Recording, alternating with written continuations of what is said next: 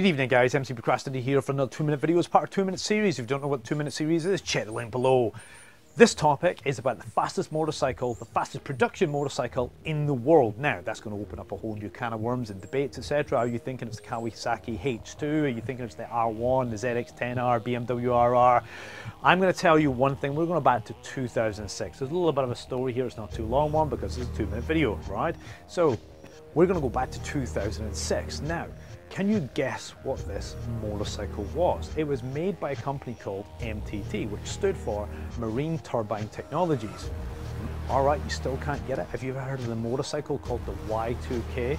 320 horsepower, but more importantly, it brought together two different technologies, motorcycle technology and aircraft technology. They took a Rolls-Royce turbine-powered jet engine and they put it into this Y2K production motorcycle with 320 horsepower that ran at 520,000 revs. Now, it was a turbo drive prop shaft that powered this bike, and believe it or not, it actually had two speeds, a chain and sprockets. So, it was quite a conventional bike on the face of it, other than the fact it had fast and super fast and the price tag that went along with this because this bike was extremely expensive. I actually don't know what the cost of this bike was. I'd have to do some more research, but it sounds like it's quite a lot. Now, then the next thing that was really, really, really impressive about this motorcycle was actually, I, this is what I remember about it, because I remember watching shows and motorcycle magazines talking about it at the time, but actually placed itself in a movie called Torque. Torque was like a Need for Speed movie that was around cars or the Fast and Furious at the time.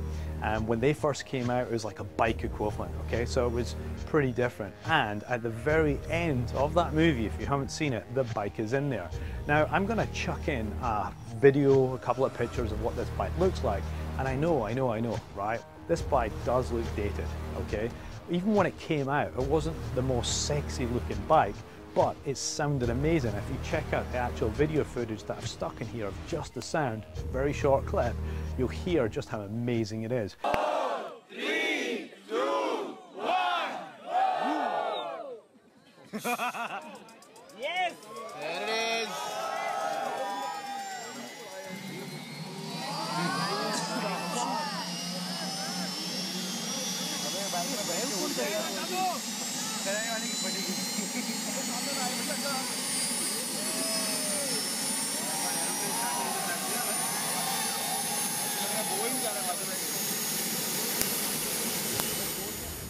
Now, you might be going there, well, what happened to this company?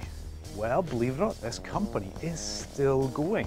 So they just recently released, I say recently, a couple of years ago, back in 2015, brought out new two new versions. One, which is a trike motorcycle, wait for it, powered by 420 horsepower jet turbine engine. And the great thing about it is it's incorporated with multiple technologies now. They're bringing it up to speed and up to date to make it safer for the road, to bring it in line with all the other motorcycle brands that are out there.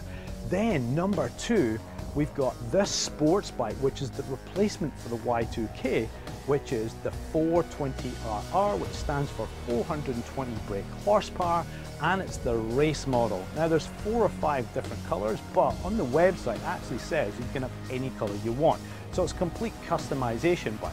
If you look at the bike, how pretty it looks now, it's a long looking bike with a chrome exhaust and it really does look futuristic. It's pretty awesome. They've really done an excellent job here. For all you guys that thought it was the Kawasaki H2, yep, think again. So now that you know there's a bike out there that's a bit different, if you had all the money in the world, would that be something you buy? Let me know your thoughts, guys. For now, MC Procrastinator out.